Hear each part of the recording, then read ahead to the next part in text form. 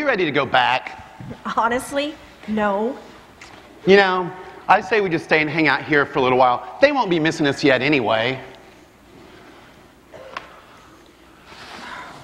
Do you hear that? Hear what? Nothing. There's no kids screaming, nobody arguing over how to cut the turkey, nobody talking over each other. Aha, so that's why you're so anxious to volunteer to walk to the store with me. You got it. I just had to get out of there. You know, I love our family, and mom did a great job on Thanksgiving this year, but I know, sis. Sometimes family can really get on your nerves, especially over the holidays. you know, I didn't want to say that, but you're right. You know, just once, it would be nice to have a Thanksgiving dinner that's quiet, a place that's peaceful, a place that's calm, and a place where you can have all the white meat that you wanted.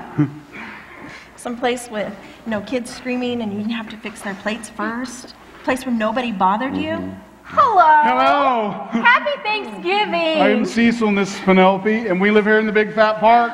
Hello. Oh, Uh, look, Penelope, they are bag people just like we are. oh, hey, they're giving away Thanksgiving dinners down at the mission. yeah. You should go get some. They got they got turkey and they got dressing, they got red stuff, and then they got smashed potatoes. But they didn't have any pumpkin pie. No. Can you believe it? No pumpkin pie. But we're thankful anyway, right, Cecil? Yes, pumpkin pie is no big deal. No. But you better hurry and get to the mission before they run out. Oh, thank you, but we've already had our Thanksgiving dinner. Yeah, we just ran out of a few things and went to the store. Oh, you're oh, so- lucky. You had a real live Thanksgiving dinner. Yes. Real live one. You're hmm. so lucky. You're very lucky. Hey, listen, why don't we leave you two oh. alone so oh, you guys Oh, no, can. You don't have, have to go because you could stay. you can stay because Penelope and I don't. We don't eat our Thanksgiving dinner till after we do our Thanksgiving transitions. No, Cecil, it's tradition. It's with a duh. Tradition. Duh. Is that even? I don't know. It's not even a word. Tradition. It's a tradition. Hey, What is your tradition? Oh, I'll show you. It's in my bag here. hurry. I'm here. Just a minute. You can save that one. That's, I like that one. It's our Thanksgiving box. Penelope and I, we write down all the things we're thankful for, and we put them in the big fat box. Well, I write them down because Cecil can't write. Well, can you show us how does your Thanksgiving box work? I'll go first. Oh, You get one for me. Okay. oh, Cecil can't read either. It says our home. Oh, our home. Home. It's our home. I am thankful for a beautiful place we have to live in. Here. I am thankful for God giving us such a beautiful park to live in. And today, I'm going to find the man who takes care of the big fat park, and I'm going to thank him. Oh, it's a big fat part. I, I'll go next. It says close. Oh, yeah, clothes. Clothes. I am thankful for the clothes that we get at the mission. I will find old Charlotte I like Charlotte. and thank her for always, always giving us our beautiful clothes. I know. Charlotte. Why don't you try one? Uh, okay, hey, Doreen, why don't you pick one for the both of us? It's our Thanksgiving Okay. box. Just get one. Just one now. Family. Family. You- It says family. Family, you're kidding. But you do have families. We do. Yeah, like like moms and dads and grandmas and grandpas. Yes? Moms and dads. You're very stuff? lucky. So lucky. So now you go home and you tell your families hmm. that you're thankful for them. Yep. Oh, but I'm sure our family knows exactly how we feel about them. Hmm. Mm-hmm. Our families know how much we appreciate them. No, you gotta say it. Gotta say They it. need to They hear need it. to hear it. Gotta hear it. They from gotta you. hear it from you. So, Mister, Yeah. Box. do you have a wife? Yes. I'll take Do you have any? Do you have any kids? Two. Well, two. well, have you told your wife and kids how thankful you are for them today? No. And, and, lady, you must have a mommy and a daddy. Have you told them how thankful you are for them on this beautiful Thanksgiving Day? Hmm. Isn't just being with them today enough? No. You have to tell them because you might turn around one day and they might be gone. Yeah, you have to You say have it. to tell them. I don't think we know how to tell them. Well, me and Cecil, hmm? we will show you how. Okay. My dearest Cecil, have I told you lately how thankful I am for you? well, I am thankful for all of you. Hmm. From the top of your shiny head And shiny. all the way down to your putty feet. Big fat feet. Well, I am thankful for all of you. Hmm. And you, you are the best part of my life. you make me laugh. And you make me sing. And I thank God every day that He gave you to me. Hmm. Thank you, my dearest Cecil. My dearest Penelope, even if you weren't so beautiful, I would still be thankful for you anyway.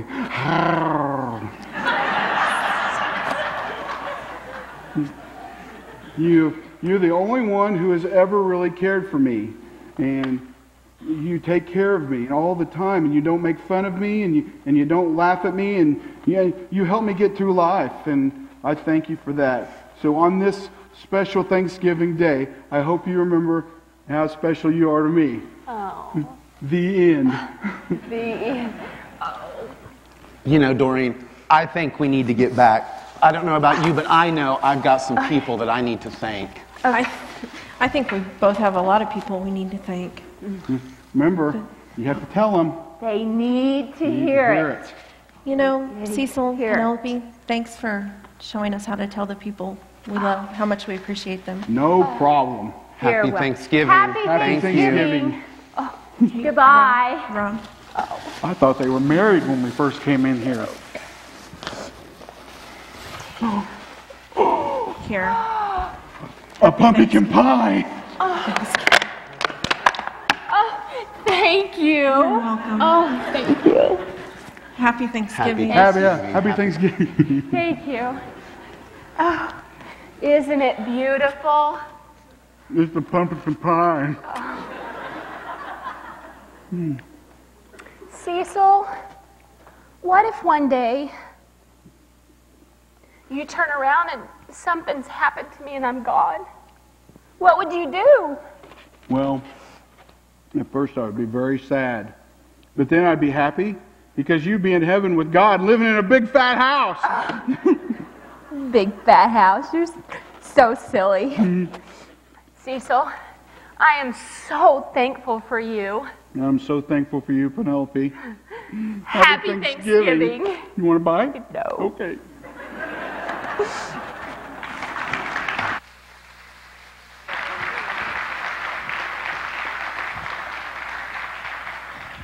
Thank you, guys. Wonderful job. In worship and in drama and faith in your song, appreciate you ministering to us in worship. Well, we've all been watching the news, and 50 years ago this week, we all remember what has taken place with our president. Um, shot in, um, in downtown Dallas.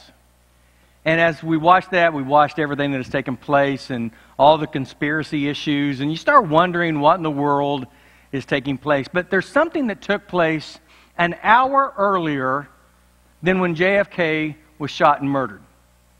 It was the death of probably one of the greatest authors in the Christian realm that we've ever had.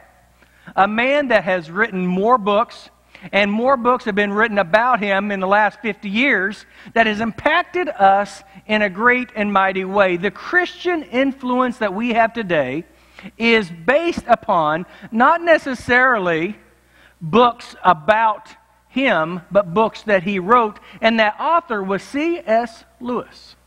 C.S. Lewis died an hour before JFK was assassinated.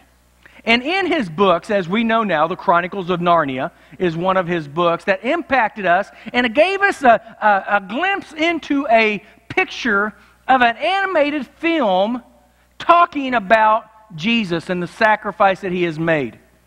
When you look at books, books can either be something that can open our eyes to the impossibilities, or it can narrow our hearts and our minds because of infatuation. Sometimes we like to read books about books about books, and we like to read books about the Bible, but we don't want to read the Bible, but we sure would like to read a book about the Bible. Or sometimes in our imaginations, we like to read. And there are a few very popular books that, uh, that we get into a little bit. Let's look at the book or the trilogy called, oh, The Twilight. How many of you have watched or read the book, The Twilight series? Raise your hands. Don't be shy. I'm not going to ask you on the next one. I'm just going to let you do this on the Twilight series. Do you know, in the book and the movie series, The Twilight, it has recorded a net profit of five billion seven hundred and sixty million dollars since its inception. That's a lot of stinking money. That's a lot of money. But let's look at maybe the books or the movie Harry Potter. How many of you guys, all of our kids have watched a little bit of Harry Potter? I've watched some of the movies Harry Potter. My boys have read the books. Harry Potter is the number one best selling book of all times. Harry Potter. Now, it's not necessarily a Christian book, is it? It's a book that we can get into an imagination state and we can talk about wizardry and we can talk about the dark side. We can talk about good witches or bad witches. But sometimes we get into a fascination stage and we enjoy reading about something just so we can get caught up in a fairy tale world. Harry Potter. How about the Hunger Games? How many of you guys have read the book or watched the movies The Hunger Games? Awesome, isn't it exciting what's taking place in there? But it is not necessarily a Christian perspective, but it is a way to transfer where you are into a wonderland and to start re- cheering for a, a series or cheering for a woman or cheering for a man. But there's a book out right now that's called Fifty Shades of Grey. I'm not going to ask how many ladies or men have read the book Fifty Shades of Grey, but Fifty Shades of Grey, in one day of its opening day, it sold 250,000 copies. In the first day, uh, it was out on um, Amazon. And Amazon records it is the fastest growing iBook book on record because a lot of people don't want to read Fifty Shades of Grey out by the pool. They want to look at it when nobody knows that they're reading it. And they call it now, I don't know if you ladies have known this or maybe some of you guys, it's called mama what? Mama porn. It gets into your imagination of watching and thinking about something that could take place in a magical world or what could take place in a home. And it transfers our hearts into our imaginations to start thinking about things that would not be what would be normal but it is a fantasy. Fifty Shades of Grey, the Fifty Shades trilogy, will say this. This is what the book report says it will obsess you, possess you, and stay with you forever. It will obsess you, possess you, and it will stay with you forever. There's a lot of reasons why that book would stay with you forever. But let me tell you about what being a fan, whether it is a fan of sports, a fan of movies, or even a fan of books. What it does, it transfers your heart, your mind, and your thought life away from a reality, transports it to a place where you can live in a fantasy and not deal with reality. And there's not a book alive other than the Word of God that can transform your life. It can entertain you, but it will not transform you. So what I want to do is I want to try to share with you how can we have a transformed life. These books that we read could be entertaining, they could be fun, they could be uh, uh, something that we could just go into an oblivion, go into a to a time, time uh, warp that you can just deal with things. But there's nothing about any one of these books that will do something for you to transform your life other than what we're going to talk about today as a youth pastor for so long when I would ask questions about uh, one of the biggest issues spiritually that we have. And two top answers came up every time I was asking our teenagers and our young adults what two spiritual issues they have that's holding them back from becoming the person they need to be. The first time is their prayer life. And I would agree with that on every one of us that we need to be able to pray more. We need to be able to get the heart of God and understand what God wants us to do. So, the first issue that every one of our teenagers or young adults would say is, I need to learn how to pray more. And would you agree with that? We all need to learn how to pray more. We all need to see what God can do. But you know what? I'm going to I'm going to throw a little, a little stop here. But let me tell you, when you start praying more, is when you see Todd stand up for a second. Stand up. Todd's little baby, Kelsey, was in Chicago this week and had heart surgery. And God, we've been praying for that little baby. And God touched that little baby, and the baby came through surgery the next morning or the next evening and had some issues. But, but we were praying for that baby, and now that baby is home, safe, sound, and well because of prayer. Okay? So now, you, you see. But now, you know what Todd believes in now? He believes in prayer because he single handedly experienced prayer. So when you see what God does in prayer, it is easier for us to pray. But sometimes when we go through life and we absorb our minds in other things and we never communicate to God, we just get so used to life that we don't get a heart of God and we don't pray to God. The second thing, other than prayer, is people really just don't read and apply the Word of God. We learn applications of Scripture, but we don't gaze on the Scripture and say, what does the Scripture really mean?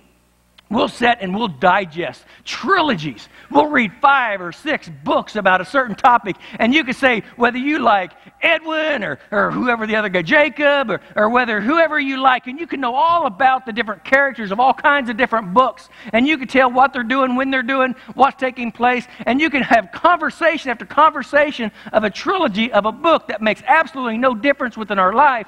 But when somebody asks you a question about the Bible, you say, whoa. I don't know.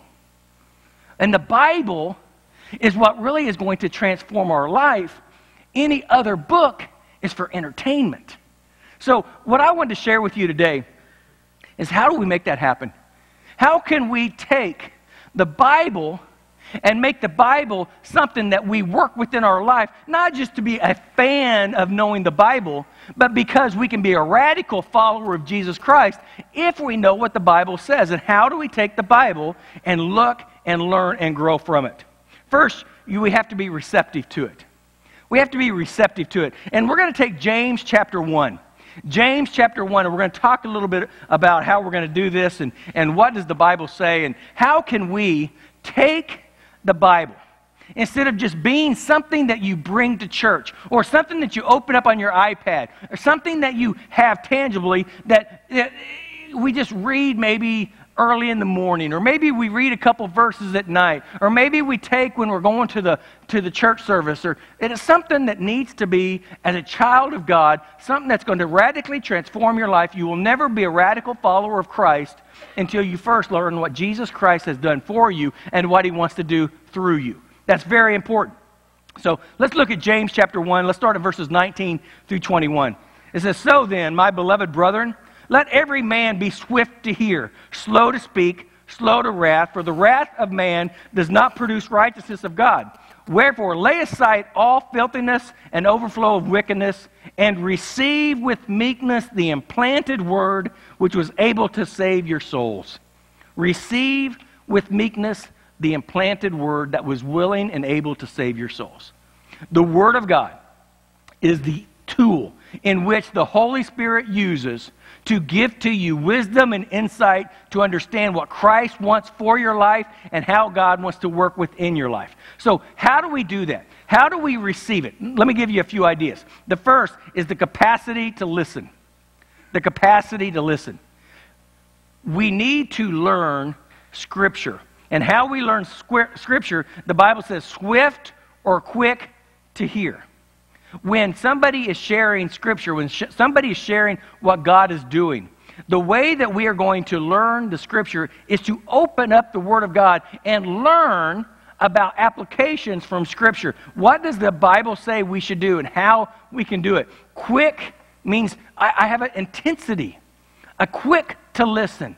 With a humble spirit, I have a desire to open up some scripture and find something new. Read it into a point that I'm, I'm excited about what God can teach me through the scripture. I have to have a capacity to listen. And then a controlled tongue, slow to speak. Slow to speak. Sometimes, I don't know if you've realized, but sometimes we do not necessarily agree with everything that the Bible says.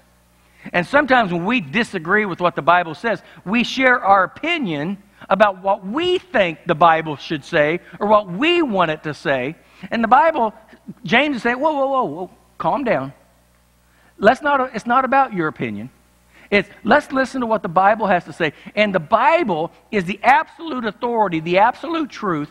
And if the Bible says, Thus saith the Lord, really, if we can be honest, we don't really have a say in the matter because the Bible is God's Word. So, what we must do is not necessarily disagree with it and fight against it. What we must do is say, let's, okay, let's, let's keep my mouth shut and let's learn from the Word of God. Control our tongue. Slow to speak. One thing that we are, we need to learn and we need to hear and we need to apply. And then it needs to say we have to have a calm demeanor.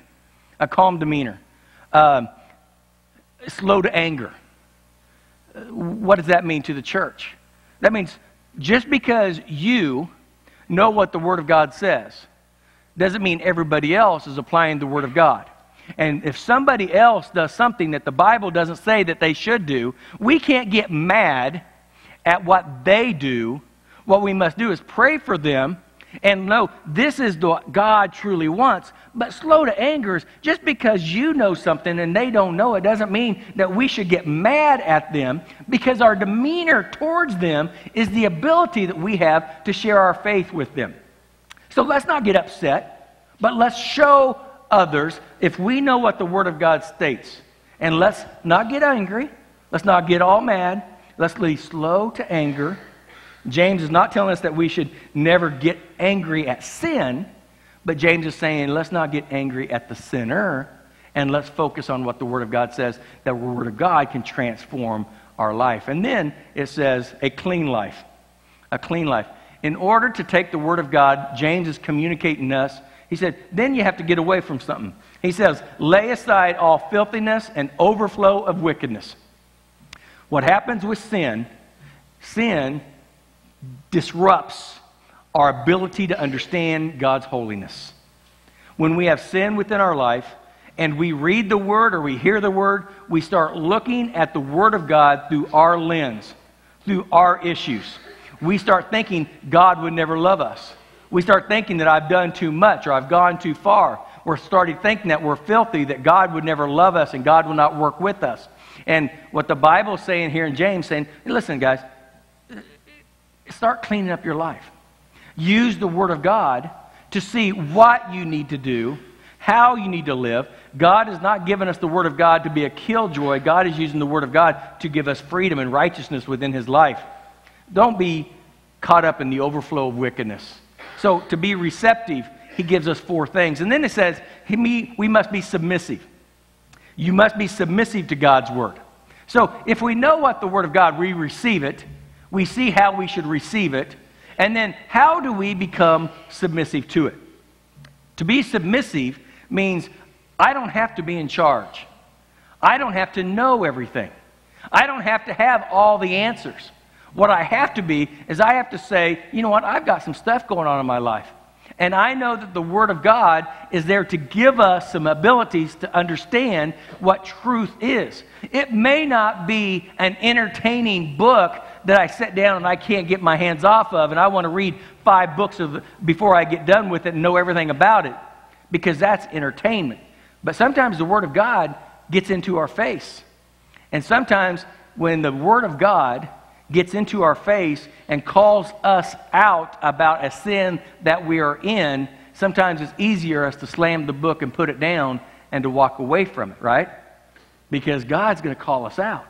And God uses the Holy Spirit to understand what we are, what we are doing, and what we need to do. And the Word of God is a light into our soul. And if we read the Word of God and we become convicted on certain issues, we have to make a decision submissively. Am I going to accept the truth of the Word of God Or am I going to slam the book down and walk away and hope when I go to church the next couple weeks, somebody's not going to preach about the topic that I'm working on? Sometimes we need to be submissively opening the Word of God. Let's look at verses 22 through 25. It says, But be doers of the Word and not hearers only, deceiving yourselves. For if anyone is a hearer of the Word and not a doer, he is like a man observing his natural face in a mirror. For he observes himself, goes away, and immediately forgets what kind of man he was. But he who looks into the perfect law of liberty and continues in it, and is not forgetful, hearer but doer of the work, this is one will be blessed in he that does. When you hear the word, when you understand what the word is saying, you come to church service, or you go to youth camp, or you go to a revival service, and you hear what God is saying through you, and, and God convicts your heart, and you say, you know what, I should try that. You know what, I probably ought to try, try to give that up. Or maybe I'm convicted that I'm going to start reading or I'm going to start praying. There's something about what somebody is communicating to you about through the Word of God, and you're convicted to the core. But time goes on. You know the feeling, but the fervor of that moment is swept by because of time. And then you forget. You don't care. So you pass by. It's like looking into a mirror and seeing the truth but not liking the truth, so we black out the mirrors. And it's easier not to know the truth than it is to understand what God truly wants for our life. Where I believe the Word of God is like a mirror that's completely open.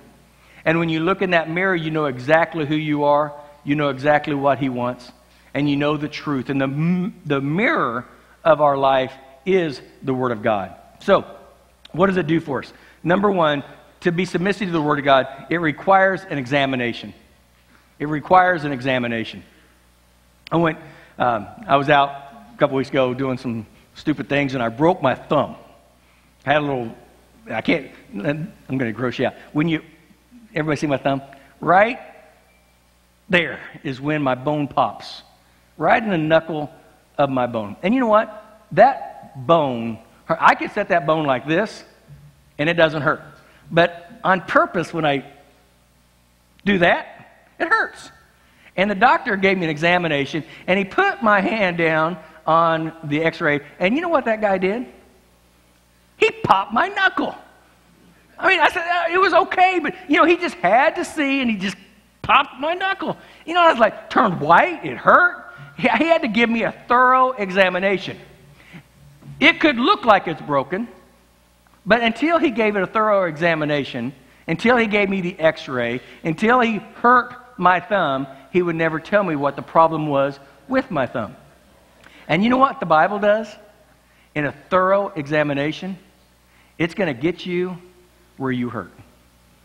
Our weaknesses, with the lens of God's Word, will expose where you're hurting. Now, you may not know what you're hurting with. You may just experience some pain, or you may experience some things. But the examination of God, when He takes your life, your spiritual life, and He puts it under the, the microscope of spirituality and the Word of God, it allows us to see what the truth really is. It requires an examination. The Bible says, looking into the perfect law of liberty. The perfect law understanding what the Bible says and understand that we must be perfect, but understand we cannot because God died for us through his son, Jesus Christ.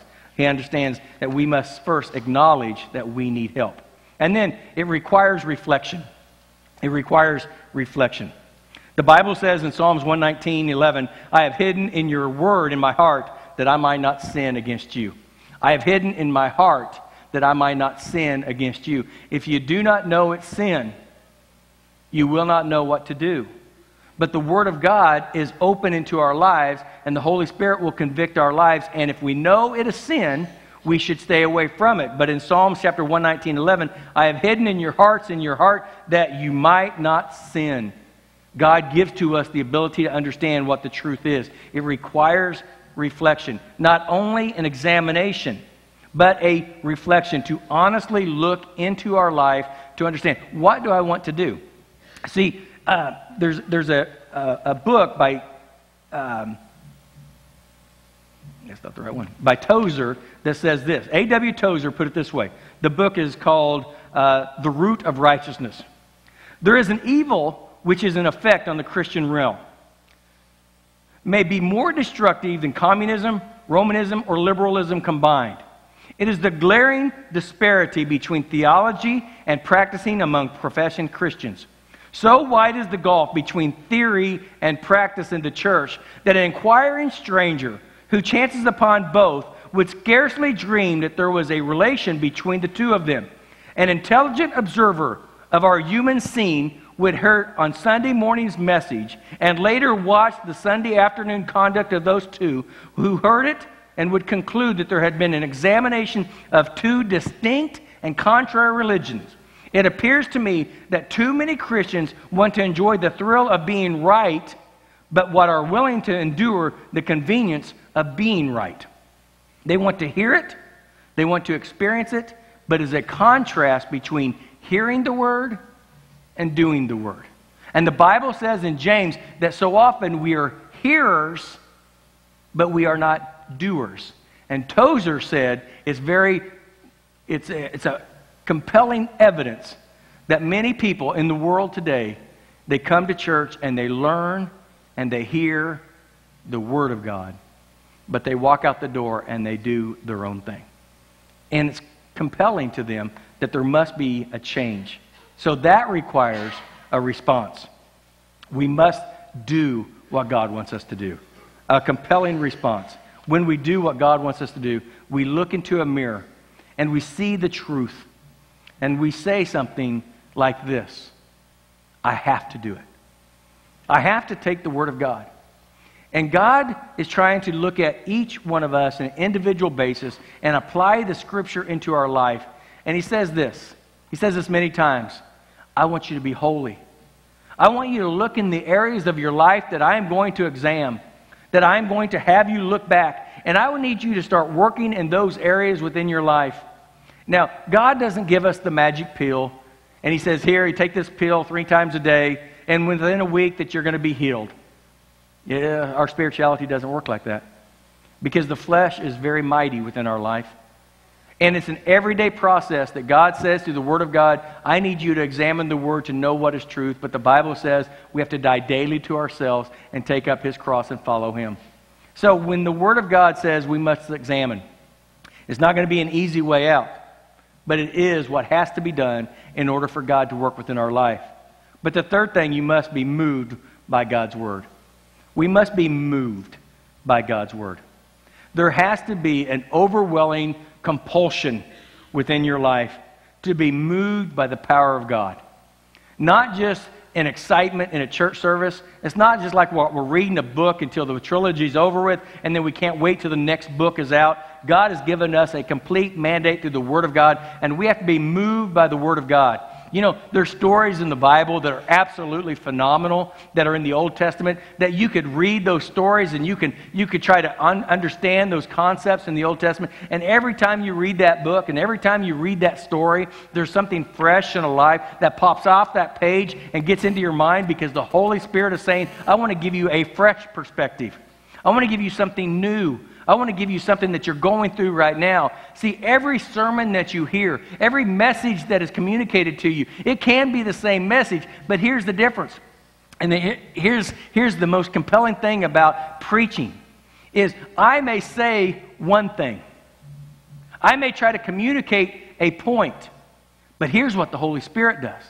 The Holy Spirit takes the words that I am saying out of my mouth about a point, and your life you have issues going on that I don't even know about. You have things that God is working within your life. And what God does, He takes the words out of my mouth that I'm speaking about a topic, and He takes them from my mouth into issues that you're going through. And He applies the Holy Spirit to your heart, and you're saying, Wow, how did you know that? I needed that today. That's exactly what I'm going through. I, did my wife call you before church? Why? is because the Holy Spirit loves you and is taking the Word of God and He's saying, I want to give to you what you need. The Word of God is alive, it's sharp, and it's oil to our need. And what it does, it applies to our heart and it changes our heart and changes our life. I don't know what you're going through, but you know what the Holy Spirit does? And when the Holy Spirit takes the Word of God and applies it to your life, He is going to make it fit to what your need is. The Bible says His Word will never come back to me void. In other words, he, He's smarter than I am. He understands things that I don't even comprehend. And He knows your need within your life. So when you say, I have a problem, and the Word of God is spoken, the Holy Spirit does the work.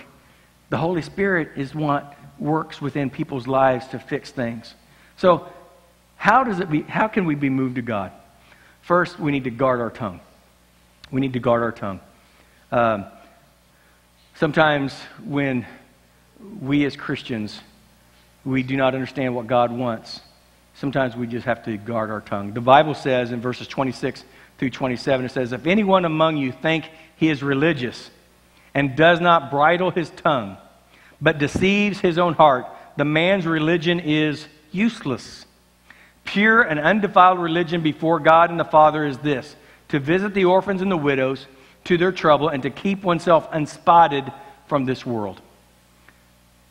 Anyone who thinks he is religious and does not bridle his tongue, he deceives his own heart. The biggest thing that we must do is we have to guard our tongue.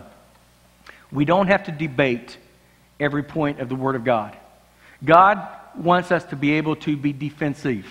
He wants us to be apologetic, be able to defend the faith. But we do not have to argue every unbeliever that we come in contact to about what the Word of God says. The Bible is on its own merit. We must stand up and say what the truth is in a loving, kind, forgiving, graceful manner guard our tongue. And then the Bible says we need to give to others. Give to others. The greatest thing that we can do is let other people into our life. Now, whether it's monetarily or whether it's physically, we need to see what people need and help meet those needs. Now, a lot of us don't have a lot of resources. And I don't believe that we should have to sell everything that we have to give to somebody else. But what we can do spiritually is this if there is a need and we can meet that need, we should do everything within our power to meet someone's need. It's Christmas season coming right around the corner. And we've already had needs being met. It's all over Facebook. Somebody saying, I need something, or I want this, or I need to have this for my class, or we have a family that's in need. You know, all it takes is a word.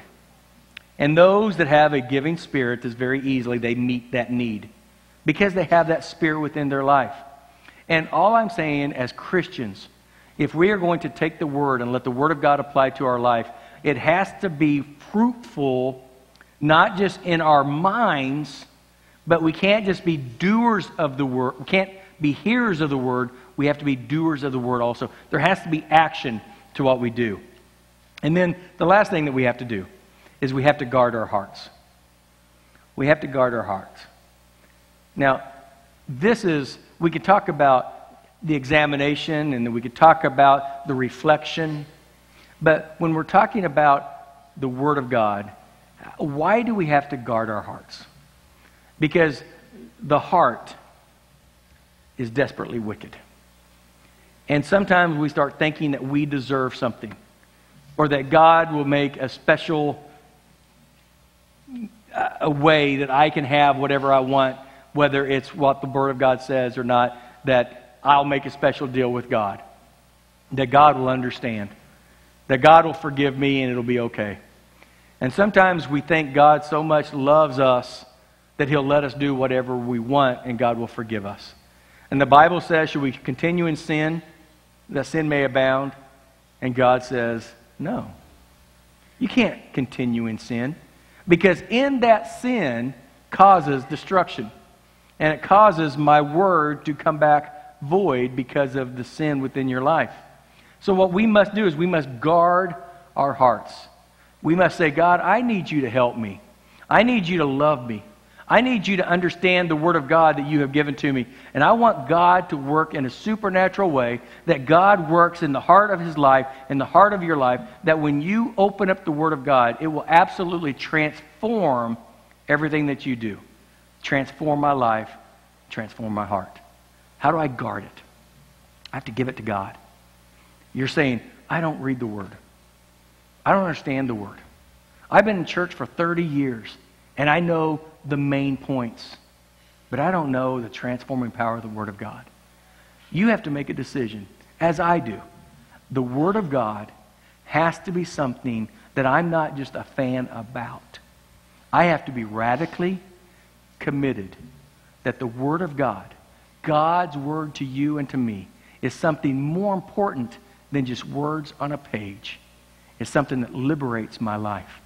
And once I know what the Bible says, once I know what God wants within my life, once I know, thus saith the Lord, I can't just say, I know what the Bible says. You know what he's asking you to do? Don't just be hearers of the word, be doers of the word. That's the hard part. That means it calls to action. That if I guard my heart and I get my pride out of the way and I hear the word, and the Bible saying, Thus saith the Lord, in other words, this is what you should do, you have to give up your flesh, give up your will, and say, I want to do what God wants me to do. And then our spirituality will not be in vain. It will be one that can be blessed by God.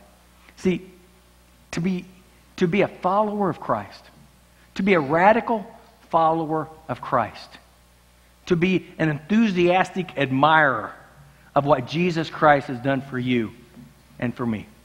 Here's what it is not it is not just observing what Jesus Christ did for you. It's not just saying, I get to go to heaven when I die. That is a fan because you enjoy what he has done for you. But to be an enthusiastic follower of Christ, it is he has given to you a word, the Bible. And if you are going to be an enthusiastic follower of Christ, read it. Take it. Apply it. And do it. We cannot be committed to Christ if we do not know Christ. You can't take everything that I know for your knowledge.